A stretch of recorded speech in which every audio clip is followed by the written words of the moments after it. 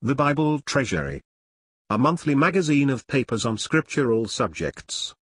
Volume 17, Article 10, 1888 and 1889. The Transfiguration.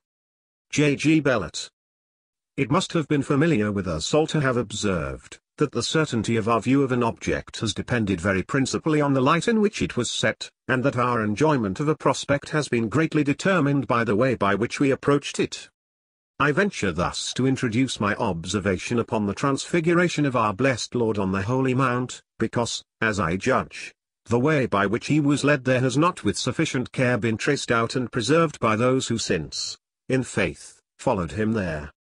The road was much longer to him than we generally suspect, and yet, to be on the mount with him, so as to enter rightly through the Spirit into the design of his being there at all, we must be patient in marking the way which conducted him to that secret place of his heavenly glory.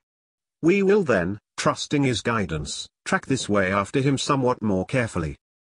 It was apostasy in Israel that prepared the place that is called Calvary, and, under the determining hand and counsel of God, there erected the cross, so that the Lord himself said to the Jews, When ye have lifted up the Son of Man, then shall ye know that I am he, John 8 verse 28 for the Son had been sent forth to preserve and reign over the house of Israel forever, but Israel would none of him. Of course in all this the purpose of the counsels of God was only effected, but still the cross is the witness of Jewish unbelief, as is said, For of a truth against thy holy servant Jesus, whom thou hast anointed, both Herod and Pontius Pilate, with the Gentiles and the people of Israel, were gathered together, for to do whatsoever thy hand and thy counsel determined before to be done. Acts 4 verses 27 and 28. The cross therefore directly led to the casting off of Israel as God's people on earth, and to the consequent present call of the church out from among the Gentiles. Accordingly, in the progress of the Lord's ministry, as the Jews were at times betraying their unbelief, so was the Lord ever following this with the intimation, either to themselves, or in secret to his disciples, of the judgment for which this unbelief was preparing them, or of its further results in the call and edification of his body the church. And if we but carefully trace his ministry, we shall at once discover this as one of its characters, and be led in this way, and I will say only in this way, justly to apprehend the purpose, most gracious in him and blessed to them, and to the whole church with them, as it was, for which he ever took his favored disciples up to that heavenly hill with him, the Gospel of Matthew, as confessedly the most complete narrative of our Lord's history, is that through which we will trace him until he reached the Mount of Transfiguration in Matthew 17, for I am assured that there is to be discovered, through all this part of his ministry and the circumstances attending it, that which was opening his way to that mount. Everything previous to the imprisonment of John will be found to be only introductory to our Lord's ministry. That is all that is recorded by our evangelist, down to Matthew 4 verse 12. But the tidings that John was cast into prison drew him forth, and we read, that from that time, Jesus began to preach. Then did light spring up to them, which sat in the region and shadow of death. Then did the shepherd of Israel begin to feed the flock, and, unlike those who had come before him, to strengthen the diseased, to heal the sick, to bind up the broken, and to seek the lost. Matthew 4 verses 23 to 25, Ezekiel 34 verse 4. In the three following chapters we have the Sermon on the Mount, the purpose of which I judge to be this, to reveal the Father in heaven, from whose glory the Son had come down, in connection with Israel, to exhibit the necessary characters of a people brought into this blessed connection, but at the same time, on the ground of the corruptions and hypocrisy of their present accredited fathers, to disclose, though as yet but darkly, the mystery of Israel's full apostasy and rejection, and the consequent call of an election from among them, and the opening of a new scene of blessing to them. In Matthew 8, the Lord pursues his ministry of mercy, and as yet he pursues it unhindered. Every step in his bright path of blessing, leaving behind it the traces of one who had come as the repairer of the breach, the restorer of paths to dwell in. Matthew 9. However present to us, for the first time, the enmity of the blind guides of Israel, because their deeds were evil against the light of Israel. The occasion for this first manifestation of their enmity and unbelief is very especially worthy of our notice. it is the case of the man sick of the palsy, who had been let down through the roof in order to meet the eye and compassion of the blessed Jesus. See Matthew 9 verse 1, Mark 2 verses 1 to 4, and Jesus, as we read, seeing their faith, said unto the sick of the palsy, Son be of good cheer, thy sins be forgiven thee. Here then the Lord, witnessing the faith of this little band of his people, at once proclaims remission of sins in Israel, and consequent healing, power on earth to forgive sins now manifested. See note. The Jehovah of Israel now appeared among them, forgiving all their iniquities, and healing all their diseases. Every sickness and every plague had through disobedience been brought upon them, Deuteronomy 28 verse 61, but he who had once led them out of Egypt, was saying to them again, I am the Lord that healeth thee. Exodus 15 verse 26. Note. The blotting out of Israel's sins is connected with the times of refreshing and the restitution of all things, as St. Peter speaks in Acts 3 verses 19 to 21, and so the Lord says in this very case of the palsied man, that the healing of disease was the sure and certain proof to Israel of sins forgiven. For says he, that ye may know that the Son of Man hath power on earth to forgive sins.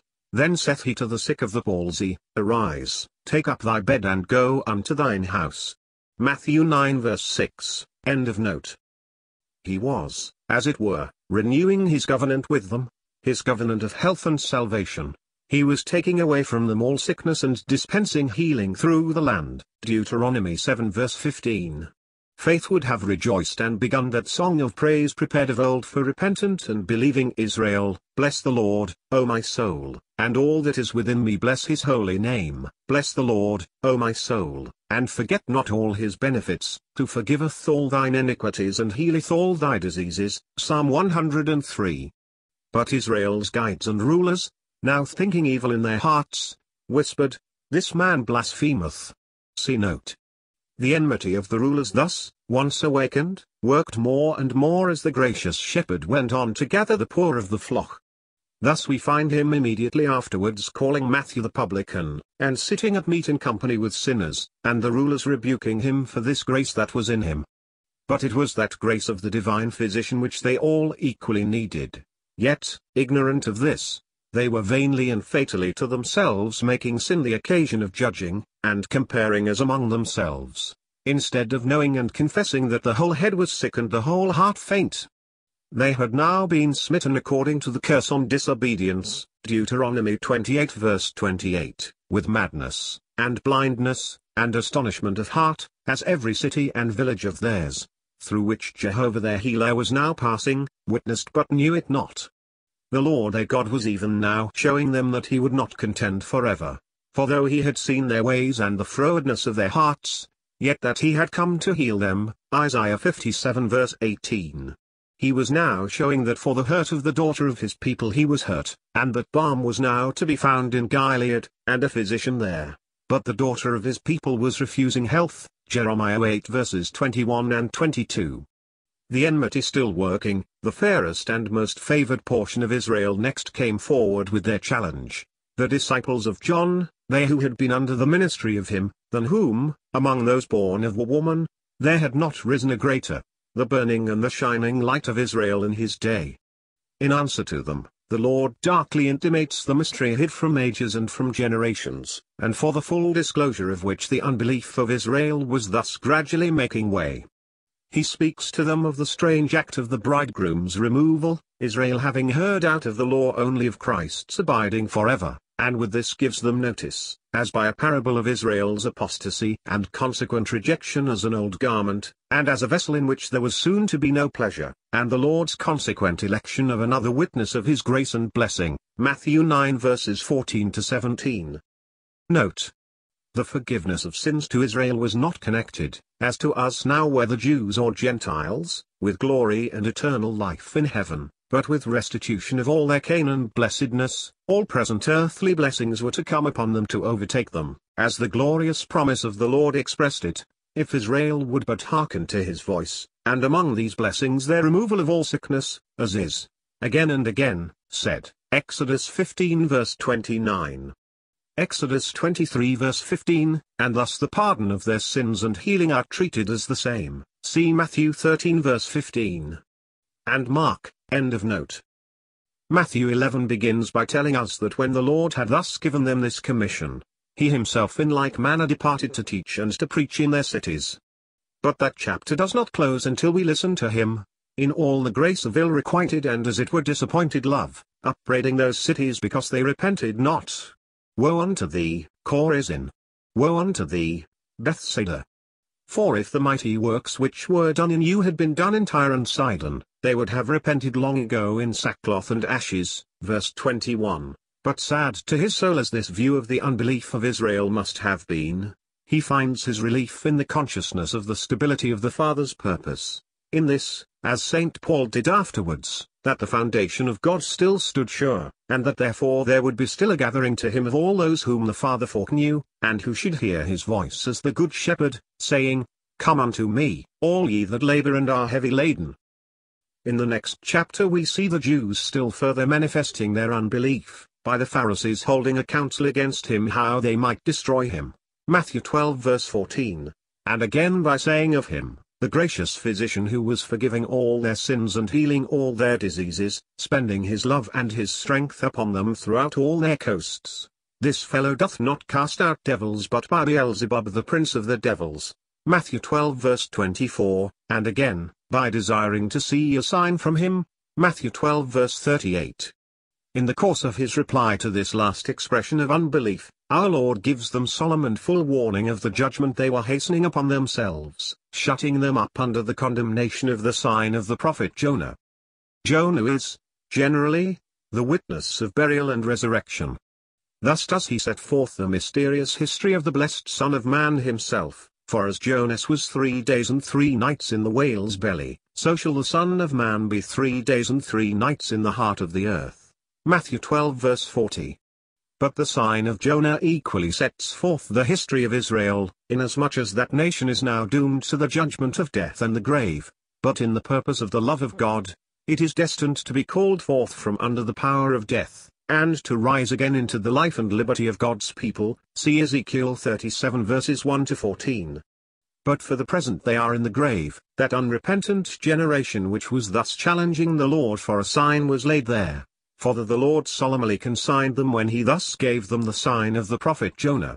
And when he had thus delivered them over to the judgment of death and the grave, he discloses to them, in the parable of the unclean spirit, that fullness of iniquity which they were to accomplish, and which would mature them for the full judgment of God. When the unclean spirit is gone out of a man, he walketh through dry places, seeking rest, and findeth none, then he saith, I will return unto my house from whence I came out. And when he is come, he findeth it empty, swept, and garnished. Then goeth he, and taketh with himself seven other spirits more wicked than himself, and they enter in and dwell there, and the last state of that man is worse than the first. Even so, shall it be also unto this wicked generation. Matthew 12 verses 43 to 45. Israel had been once possessed with an unclean spirit, before the Babylonish captivity, the idols had defiled that land where Jehovah had set his own name and the witness of his presence. But this unclean spirit had now gone out of Israel, the house was swept, and emptied, and garnished, the altars, and the groves, and the images were no more. But this was all. God had not been restored to his place the, idolatry had now yielded to the spirit of scorning and unbelief. The Lord came, but there was no man, he came to his own, but his own received him not. John 1 verse 11. And thus into this empty house the full, or sevenfold, energy of Satan had entered. The unclean spirit had taken with himself seven other spirits more wicked than himself, and was preparing to dwell there, and so has he since dwelt. The God of this world has blinded the nation to the glory of God in the face of Jesus Christ, and they continue to this day to deny the Son of Man and to leave their last state worse than the first. See note. Note. Malachi was stationed as a prophet in Israel after the return of the Jews from Babylon and when the Jewish system was revived and put on trial again. But he witnessed, as it were, the gathering together of these seven spirits. The mystery of that iniquity was in his days beginning to work. The Lord does not complain through him of the return of the unclean spirit of idolatry, which had before been in the house, but of the spirit of scorn and unbelief, of the first workings of that which should one day end in the manifestation in its full energy of the God of this world, which ended in the cry, Crucify him, crucify him, and which left them in their last and worst state ripe for the judgment of God. To the close of this chapter our Lord's thoughts appear to be still on the same awful truths. When he formally ceases to identify real and fleshly connection with himself, as he would have been enabled to do had the seed of Abraham been also the children of Abraham, had they who came of the loins of Abraham, also done the works of Abraham. End of note. The next chapter, Matthew 13, begins to present our Lord as a teacher with a new style and manner. He opens his mouth in parables and utters dark sayings of old, and on being questioned by his disciples, Why was it thus? He answered and said unto them, Because it is given unto you to know the mystery of the kingdom of heaven, but to them it is not given. For whosoever hath, to him shall be given, and he shall have more abundance. But whosoever hath not, from him shall be taken away, even that he hath. Therefore speak I to them in parables, because they seeing, see not, and hearing, they hear not, neither do they understand, and in them is fulfilled the prophecy of Isaiah which saith, By hearing ye shall hear and shall not understand, and seeing ye shall see and not perceive, for this people's heart is waxed gross, and their ears are dull of hearing, and their eyes they have closed, lest at any time they should see with their eyes, and hear with their ears, and should understand with their heart, and should be converted, and I should heal them. This change of manner in the ministry of this blessed and perfect Master in Israel was thus awfully judicial. He had spoken to them plainly, and spoken no proverb, but when he had thus called, there was none to answer. And now, as the Lord in judgment, he began to pour out on them the spirit of deep sleep and to close their eyes, that the scripture might be fulfilled which saith, and the vision of all is become unto you as the words of a book that is sealed, which men deliver to one that is learned, saying, Read this, I pray thee, and he saith, I cannot, for it is sealed, and the book is delivered to him that is not learned, saying, Read this I pray thee, and he saith, I am not learned, Isaiah 29 verses 11 and 12. We are too careless in marking all the actions of the blessed Jesus, among ourselves, the eye and ear of a friend will discover in little things the heart of him with whom friendship has made us familiar, and how does the Holy Ghost trace for the saints the less discovered paths of the Spirit of Jesus when on earth, so that when once let into the secret of communion with him, we may see him where the sharpest eye of this world's wisdom would never have discovered his path.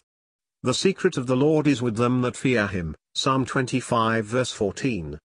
Now we read after this, Matthew 14 verse 13, that when Jesus heard of the death of John the Baptist, he departed thence by ship into a desert place apart. This action of the Lord is full of meaning. The murder of that righteous man was a chief matter in filling up the measure of the nation's sin. It was the sure witness of their deep revolt from God. They had done with God's servant whatsoever they listed, served the lust of their own evil hearts upon him, instead of receiving him as the messenger of the Lord of hosts to them. And what ripeness for judgment was just then exhibited among them. Only mark the scene in Herod's palace at that time, what a living in pleasure was there and being wanton. What a nourishing of the heart as in a day of slaughter, did the court of Israel's king then present. Herod's birthday was kept, the harp, and the viol, the tabret, and pipe, and wine were in the feast, and the blood of the righteous was mingled with it all. The just was condemned and killed, but there was to be no resistance no present redress. The sin of Babylon was found in Jerusalem and more than the sin of Babylon. It was a feast full of more horrid rites than that which drew forth the handwriting of death upon the wall, to seal the fate of Belshazzar and his kingdom. The vessels of the temple were profaned there, but in Jerusalem, the blood of the righteous was shed. But there was no second handwriting, the Lord came not to break the bruised reed, nor to quench the smoking flax. He came not to visit Israel's sin upon them. And so we read, that when he had heard of this deed which so stained their land, he departed into a desert place apart, his spirit thus leading him away from the view of the nation's sin, which was not as yet to call forth his right hand from his bosom, to pursue, as we find, his patient labors of mercy through their land, though they were thus rewarding him evil for good, and hatred for his love. In tracing further the ministry of the Lord, we find him in Matthew, Matthew 15, brought into view again of other evidence of Jewish apostasy, such as showed that all their worship had been now turned to vanity, that, loving the praise of men rather than the praise of God. They were honoring man in his traditions, and, for the sake of this, forsaking God and his commandments. And thus were they forsaking their own mercy, and, travelling on in the darkness of this world, they knew not whither they were going, and would speedily stumble, and be snared, and taken. Thus witnessing all the way the deepening of Jewish unbelief, and the settling of the purpose of their revolted heart not to receive him, we are at length conducted to that scene in the Lord's ministry which prepares for his ascent without further delay up the Holy Mount. On his again being challenged to show the sign from heaven, Matthew 16 verse 1, after upbraiding them with their hypocrisy, we read that he left them and departed. Another action of the Lord, big with judgment, had this voice, that the time was at hand when they should be judicially deserted of God. We find that he pursued this solemn journey of separation from them, till he reached the coast of Caesarea Philippi, the most distant corner of the land. Here we must pause with him, and meditate on this most interesting moment of his ministry, when he, having taken up this lonely and remote position, judicially separating himself as far as he could from all Jewish associations and recollections, breaks open both to the eye and ear of his disciples the secret that had been hid from ages and from generations, that is, the special and distinctive glory which in the purpose of God had been of old ordained for his church. Here in the solitudes of Caesarea Philippi, the Lord, as we read, asked his disciples, saying, Whom do men say that I the Son of Man am?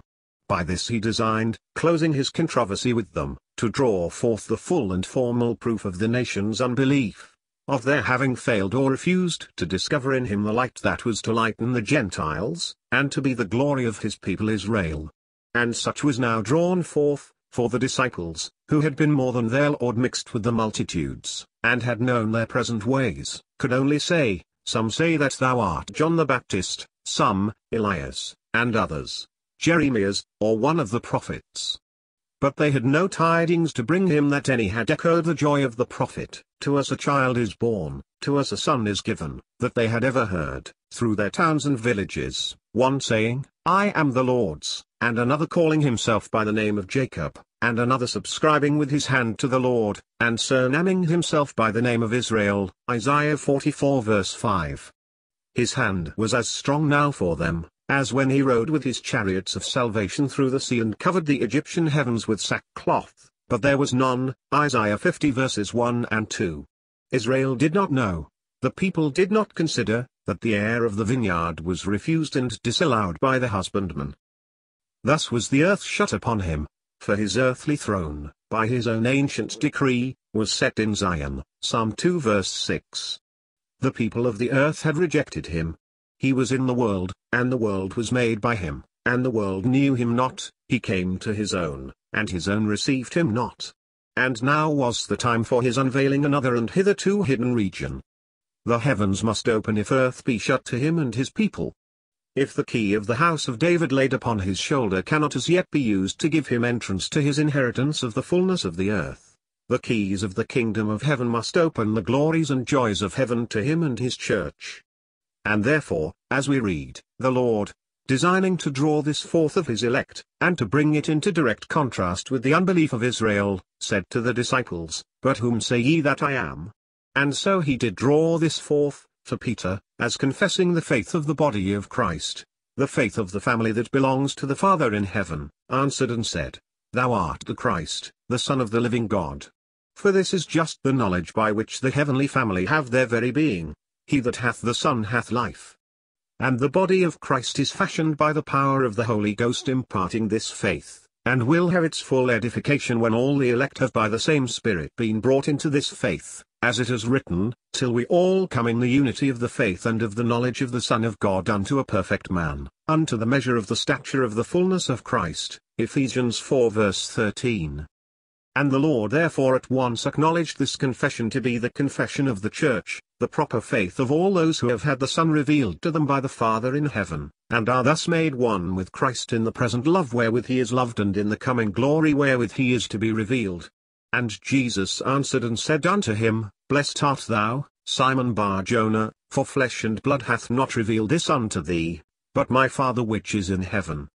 And I also say unto thee that thou art Peter, and upon this rock I will build my church, and the gates of hell shall not prevail against it, and I will give unto thee the keys of the kingdom of heaven, and whatsoever thou shalt bind on earth shall be bound in heaven, and whatsoever thou shalt loose on earth shall be loosed in heaven. Matthew 16 verses 17 to 19. See note. Note. I may just remark that here, for the first time in Scripture, the term church is used, Israel being rather the people of God, end of note. Here then, for the first time, the Son and the Church, the destined bridegroom and bride are manifested in the presence of each other, here do they for the first time salute each other, and enter into that fellowship of knowledge and those blessed embraces of love which shall endure forever. Then did the church in spirit sing, I am my beloved's, and my beloved is mine, and the Son could rejoice in opening to his brethren the very heavens themselves, and giving them seats with himself in the Father's house. In his esteem, as it were, the earth was too low for them, and the heavens must open to them. His members should be fashioned here, but the body in its perfectness should find its place forever on high. The throne and not the footstool should be theirs. I do believe there was no moment like this in the ministry of our blessed Master. This was the great moment of transition from earth to heaven, the one was refusing its increase to God, and would now cast out the heir of all its fullness, the other was preparing a throne for him, and for all who would love and adhere to him in this scornful and rejecting world. Thus can we discern, during the ministry of our Lord, the unfoldings of that character and unbelief in Israel which carried his prospects, if I may so speak, from earth to heaven. And so are we able to trace that way which conducted his steps to the distant coasts of Caesarea Philippi, and from thence, as we shall presently see, up the heavenly ascent of the Mount of Transfiguration. The earth being thus, as he now saw, closed upon him, the Lord begins, as we read, from that time to reveal the wonder of his death, which was the finishing of the earth's sin, and its rejection of God. It was a circumstance in the history of their Messiah that lay quite beyond all Jewish calculations, that was beside his character as son of David in which Israel knew him. This was the time, Therefore, the son of David being thus disowned by Israel, for the Lord to speak fully and openly to his disciples of his death. From that time forth began Jesus to show unto his disciples how that he must go unto Jerusalem, and suffer many things of the elders and chief priests and scribes, and be killed, and be raised again the third day. Matthew 16 verse 21. But here, alas, how far below the power of his own blessed confession so lately made, does the apostle come? Like Abram of old, he had just come out, as it were, from his home and kindred on earth, in the energy of the faith of the Son of God, which was really separating him unto the heavenly glory, but, like Abram, how soon the world and the God of this world has him under the power of his own spirit. See Genesis 12, then Peter took him and began to rebuke him, saying, Be it far from thee, Lord, this shall not be unto thee. But he turned and said unto Peter, Get thee behind me, Satan, thou art an offence unto me, for thou savourest not the things that be of God, but those that be of men. Matthew 16 verses 22 and 23. Could Peter promise himself that his master would be anything but a sufferer in a world which had thus been manifesting its rejection of God? And should Peter, or those whom Peter's confession represents, look for any portion for themselves in a world which has now rejected the Son, and is still saying that they will not have him to reign over them? It is only of Satan that the love of it can savour, and thus it cannot abide in the same heart with the love of the Father. The saints through the Holy Ghost have met the Father in affection, in the person of the Son, and the world by the spirit of the wicked one is at enmity with the Father, by still refusing to kiss the Son, counting that there is no beauty that they should desire him. In accordance with this reprobate character of the world, the Lord shows his disciples, drawn to him in spirit out of it, what their suffering condition must also needs be while in it. Then said Jesus unto his disciples, If any man will come after me, let him deny himself and take up his cross and follow me, for whosoever will save his life shall lose it, and whosoever will lose his life for my sake shall find it. But at the same time he graciously sustains them thus called to be his suffering followers, with a promise of reward in the glory of his kingdom, a glory too, which he at the same time intimates to be far above all Jewish measures or expectations of glory, being of the Father. For, says the Lord to them, What is a man profited, if he shall gain the whole world and lose his own soul? Or what shall a man give in exchange for his soul? For the Son of Man shall come in the glory of his Father with his angels, and then he shall reward every man according to his works. And so great, so wondrous, so exceeding all previous calculations, was this glory of the Father, which he now speaks of, that he gives his disciples a very solemn pledge of it, promising them, in terms most strikingly expressive of the deep and interesting value of it, a sight of this glory. Thus by the two witnesses, as it were, his prophecy and their vision of it, the thing must be adjudged to be no cunningly devised fable, but be established in their faith, and ever live in the remembrance of his church, till the day itself dawned, and till the power and coming of our Lord Jesus Christ, in the majesty of his kingdom, should rest no longer in vision or in promise, but be manifested to the everlasting satisfaction of all who wait for it. Verily I say unto you, there be some standing here which shall not taste of death till they see the Son of Man coming in his kingdom. Accordingly this gracious pledge he quickly redeems. As we read, And after six days Jesus taketh Peter, James, and John his brother, and bringeth them up into an high mountain apart, and was transfigured before them, and his face did shine as the sun, and his raiment was white as the light. And behold, there appeared unto them Moses and Elias talking with him. Then answered Peter, and said unto Jesus, Lord, it is good for us to be here. If thou wilt, let us make here three tabernacles, one for thee, and one for Moses, and one for Elias. While he yet spake, behold, a bright cloud overshadowed them, and behold, a voice out of the cloud, which said, This is my beloved Son, in whom I am well pleased, hear ye him.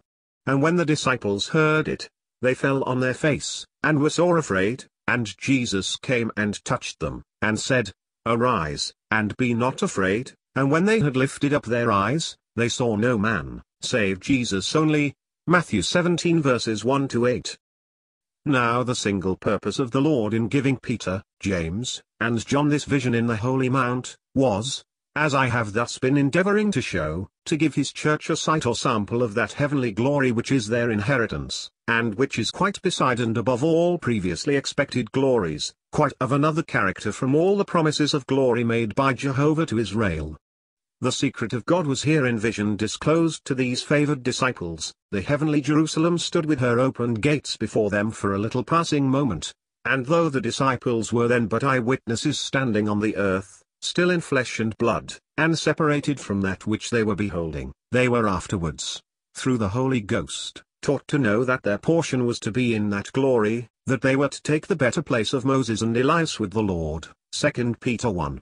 And thus they might have seen, reflected in Moses and Elias glorified with the royal Son of Man, the inheritance of the saints in light, the hope of the calling of the Father of glory, the glory given to the Son, and imparted by the Son to the Church, that they might be one with him in it forever. Ephesians 1 verse 17, John 17 verse 22.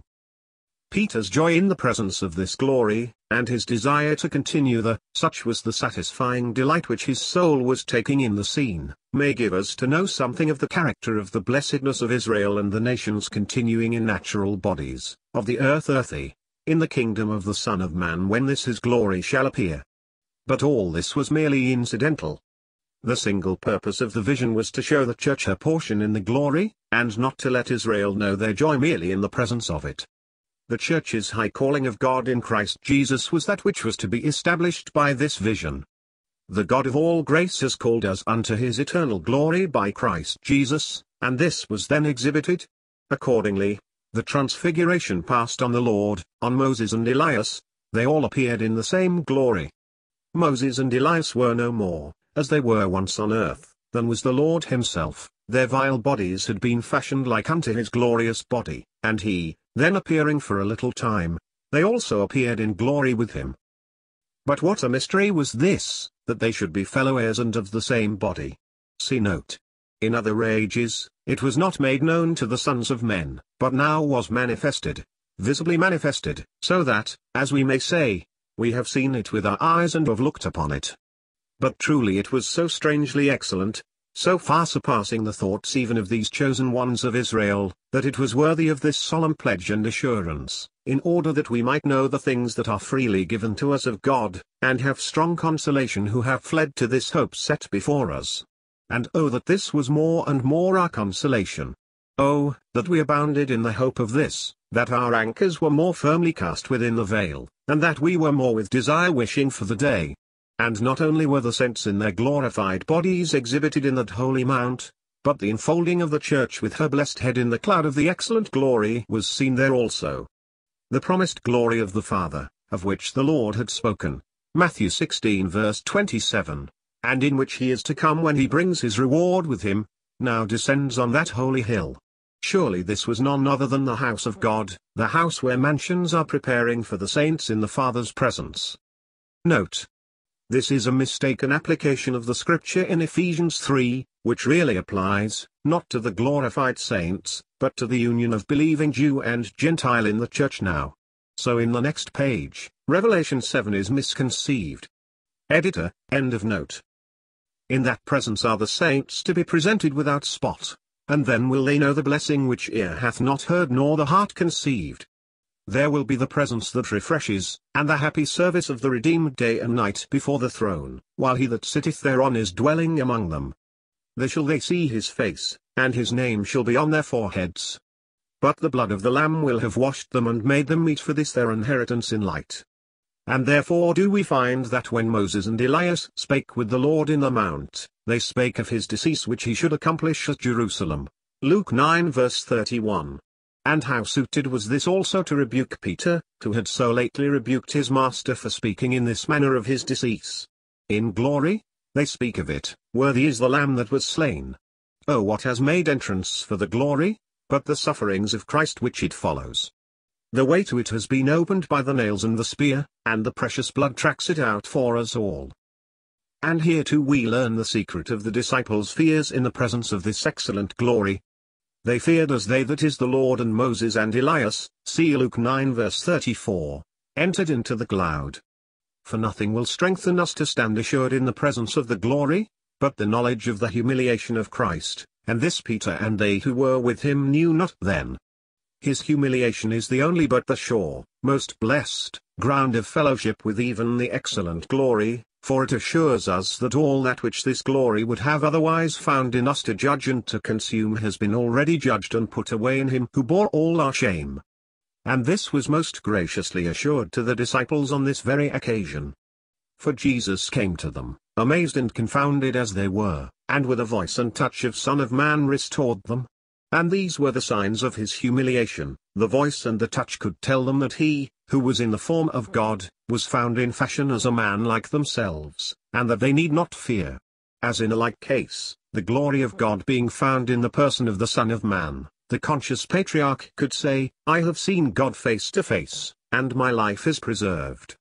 The majesty of the God of heaven was not, therefore, his destruction, Genesis 32 verse 30.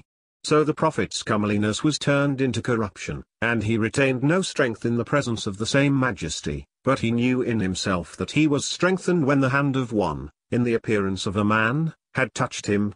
Daniel 10 verse 18. And thus it is ever, the divine terror shall not make us afraid, nor the hand of the Almighty be heavy upon us, though of old it meted out heaven and measured the waters, and gathered the winds, if we know him, who has been formed out of the clay like ourselves, and is according to our wish in God's stead, Job 33 verses 6 and 7. And it was with this humiliated one that the disciples again, it might be too soon, found themselves alone, when they lifted up their eyes, not knowing but that they should still behold the excellent glory. But they saw no man save Jesus only. Jesus. The title of all which men despised and rejected, the sign of the carpenter's son, of him who belonged to Galilee, the Nazarene. With such an one did they now find themselves alone. The vision was yet to be for an appointed time, the glory had been folded up and was departed, and they were still to know only fellowship with him whom man was despising and the nation abhorring. And with him should we be walking still.